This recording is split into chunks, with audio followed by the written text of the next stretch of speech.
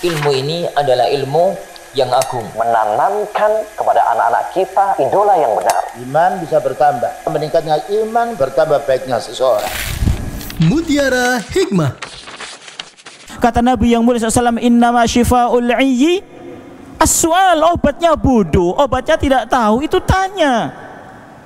Ibnu Abbas radhiyallahu taala an, kenapa beliau hanya menjumpai Nabi sebentar? Seingat anak empat tahun berjumpa dengan Nabi yang mulia SAW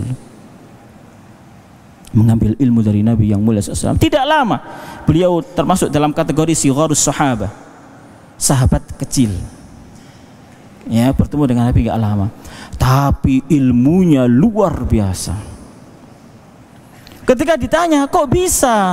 Antum bisa memiliki ilmu sedemikian luas?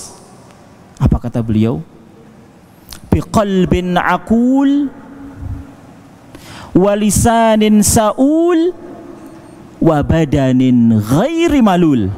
Dengan hati yang senantiasa berpikir. Berpikir tentang ilmu bukan tentang makanan. Walisanin saul dengan lisan yang senantiasa bertanya tatkala tidak tahu tanya dia kepada sahabat yang lain kepada Nabi yang mulia SAW wa badanin ghairi malul dan badan yang tidak pernah kenal males lelah. Nggak malesan